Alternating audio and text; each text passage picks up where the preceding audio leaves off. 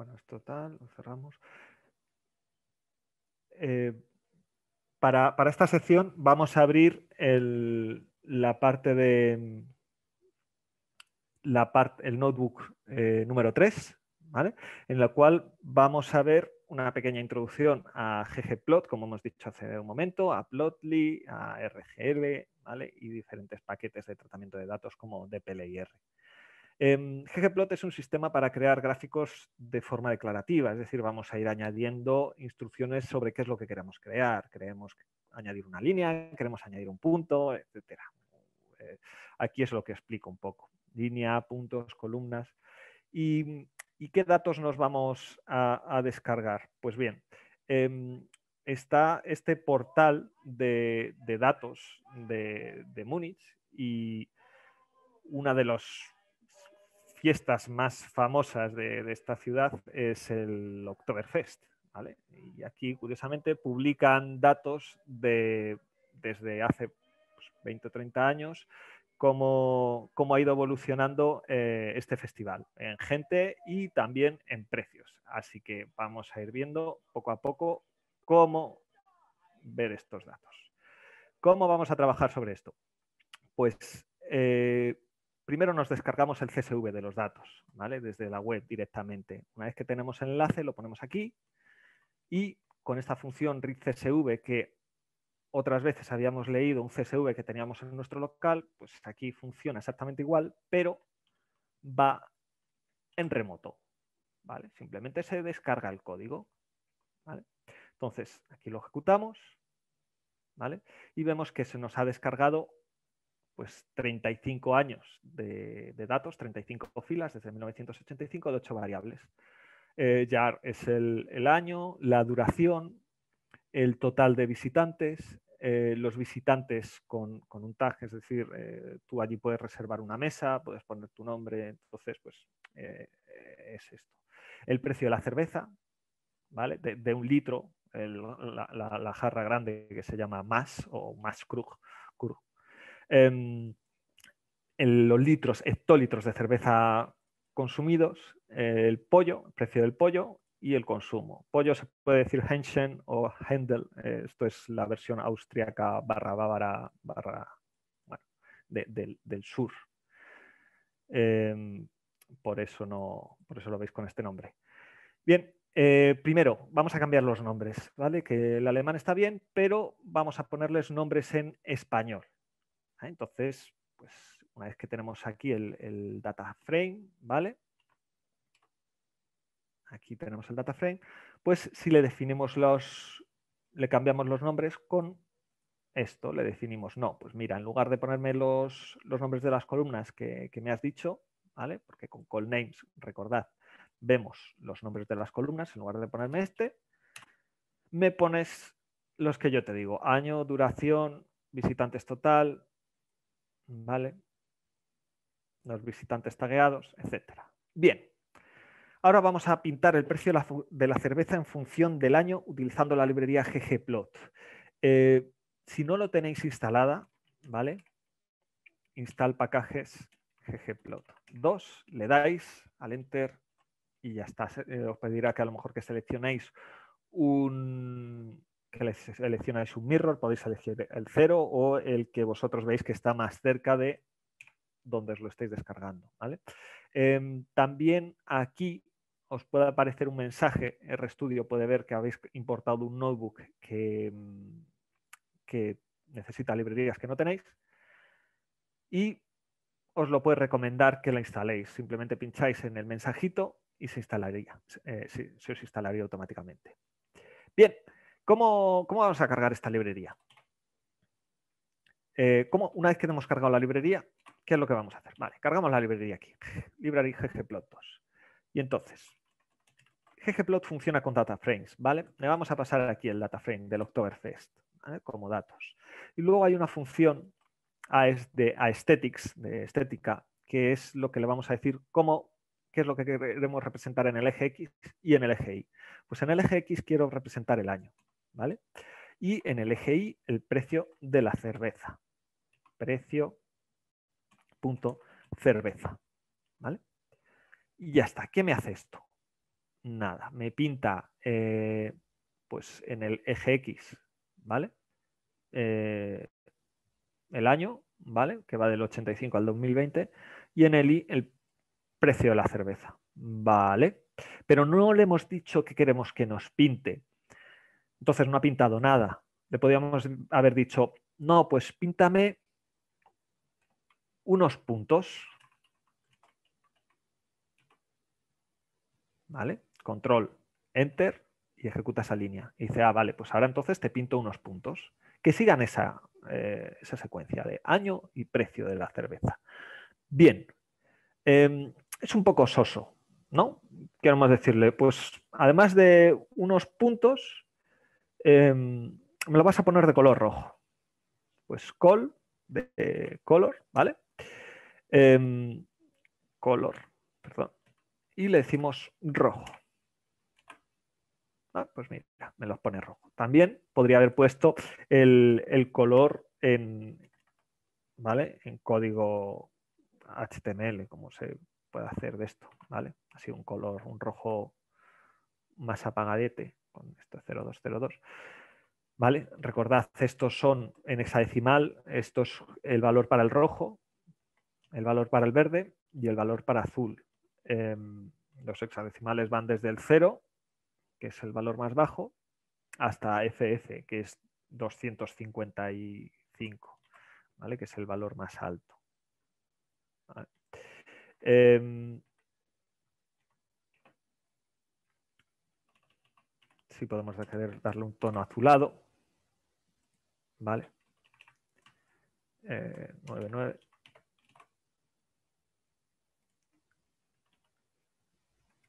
Jefe. Aquí, que, porque se me había quedado el más por ahí pesado. ¿Vale? Entonces así lo, lo he aclarado un poquito porque le he puesto valores más altos aquí. Bien. Quiero pintar una línea también, pero la línea la quiero pintar antes de los puntos. ¿Vale? Pues puedo hacer geom line y también quiero que la línea sea azul. Blue.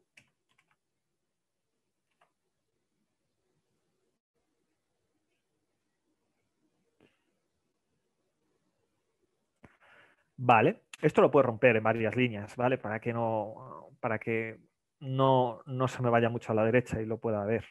Bien, pero ¿qué ocurre? Pues aquí los ejes X y, los ejes Y, pues a lo mejor no están como, como a mí me gustaría. ¿vale? Vamos a cambiar las etiquetas. ¿vale? Pues es muy fácil. XLab, poder decir precio, perdón, XLab es el año. Año. ¿Vale? Que aquí está en minúsculas, pues lo pongo en mayúsculas. Y el I, pues precio cerveza o precio en euros. ¿vale? Y me faltaría un título. GG title. ¿Vale? Precio de la cerveza en el Oktoberfest. ¿Vale?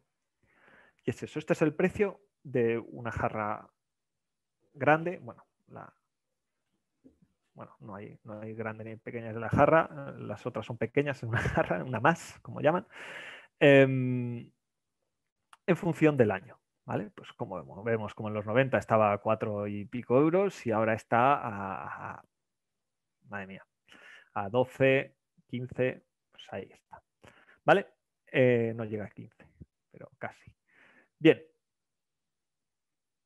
¿Qué más podríamos cambiar? Eh, si nos gusta el, el color, el fondo, se pueden usar temas. Aquí tenemos el tema blanco y negro, ¿vale? Es así, ¿veis? Quita, quita esos grises. Si queréis ir a la ayuda, en BW, pues aquí veis un poquito los, temas que, se pueden usar, ¿vale? Y también cómo, cómo customizarlos, cómo, cómo cambiarlos, ¿vale? Bien, vamos a seguir. ¿Qué más podemos hacer? podemos pensar que mm, a lo mejor pintar eh, la, la, cerveza y, el pollo a la vez. ¿Vale?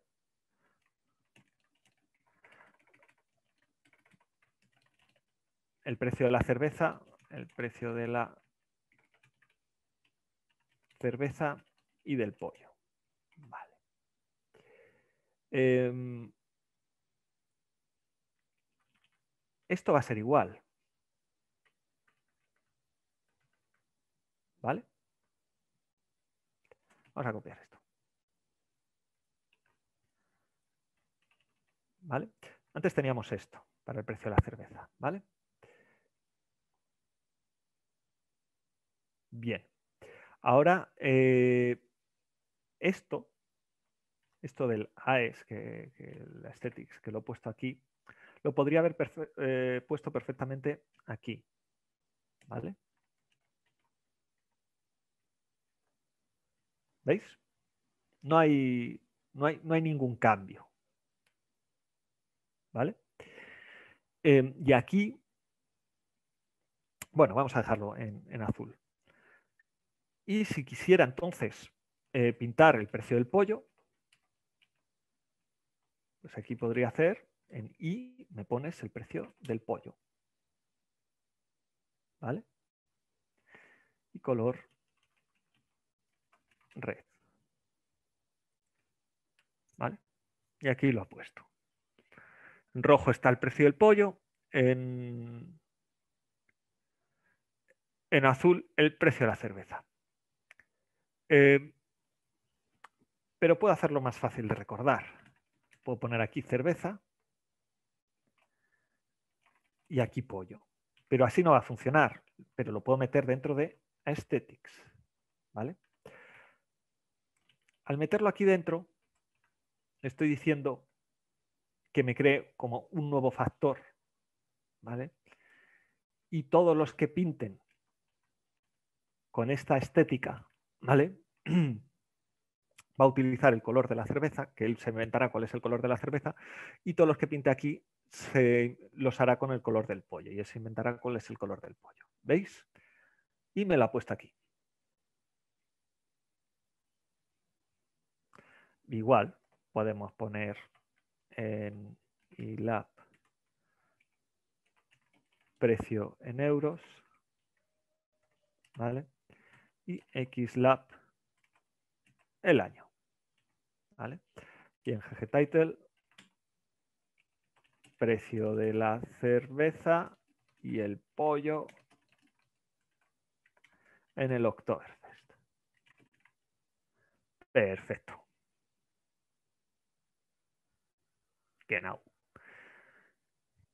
¿Qué más podemos hacer? Em, vamos a ver qué, es lo que hemos pintado aquí. Un grafiquito de barras igual, ¿vale?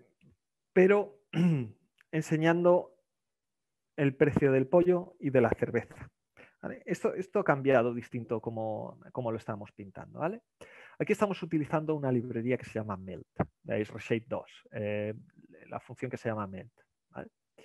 ¿Y, qué, ¿Y qué es lo que nos ha hecho df melted? ¿vale? Nos ha, ¿qué, es lo que contiene esta variable?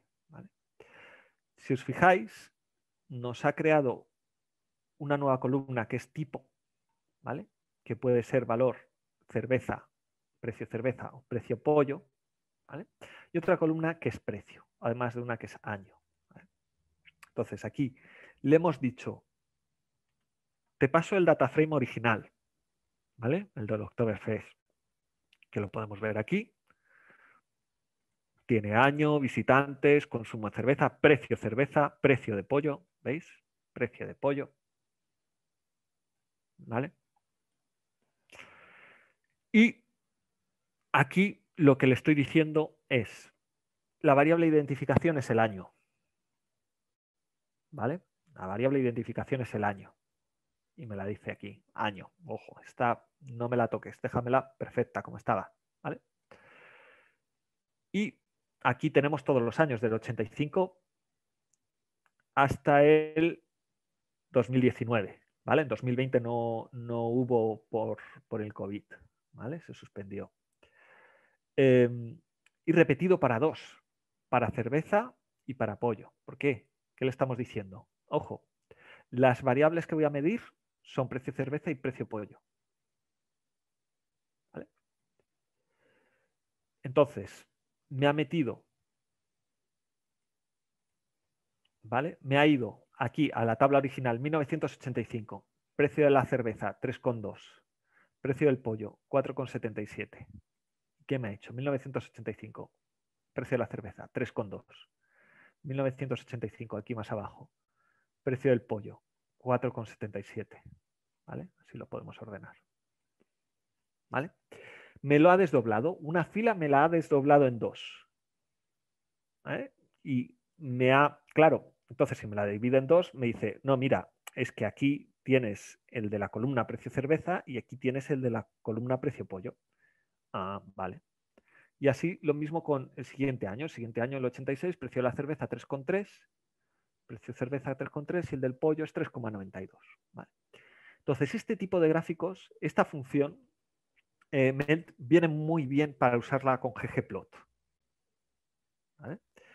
Em, y aquí lo que le estamos diciendo es, le pasamos en el X el año, ¿vale? le pasamos en el Y el precio y una nueva variable, el color, que le decimos el tipo. Color, que es tipo, esta columna, tipo. ¿vale? Que es lo que le he definido aquí. Esa columna se va a llamar tipo y la otra precio. ¿Vale? Entonces, me va a colorear las gráficas. ¿vale? Le he dicho que use GeomCall para que me pinte columnas. ¿Vale? Entonces, me pinta dos tipos de columnas, una en función de cada color, de cada tipo. Bueno, y aquí también le he dicho el fill. El fill lo podía haber metido aquí o lo puedo dejar aquí. Entonces, lo que me está haciendo es lo que había hecho yo aquí antes, lo que había hecho yo aquí antes, pero de forma automática, porque ya le he dicho, ojo, que hay una variable que es color, que, que depende del tipo, ¿vale? Y el precio me coges, pues, para el tipo pollo me coges el precio del pollo para el tipo cerveza me coges el de cerveza, ya lo sabes. Bien, vamos a ver qué ocurriría si hubiéramos ejecutado el geomline. ¿Vale? Exactamente lo mismo que antes. Tenemos el mismo tipo de gráfica. ¿Vale? ¿Veis? Mismo tipo de gráfica. Eh, podemos juntar el line y el call? Pues sí, ¿veis? Y aquí vemos la línea con la columna. muy fácil, muy bonito. Em, en Geom Call, ¿vale? Tenemos distintas, distintas posiciones. ¿vale? Por defecto utiliza la posición stack, en la cual nos coloca una encima de la otra.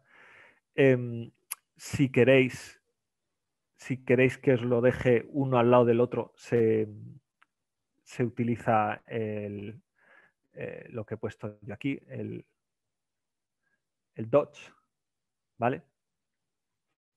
Entonces, si aquí no ponéis nada,